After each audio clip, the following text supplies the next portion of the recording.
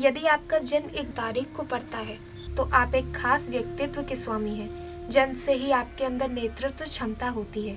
स्वाभिमान व दृढ़ता आपके स्वभाव का अभिन्न अंग है।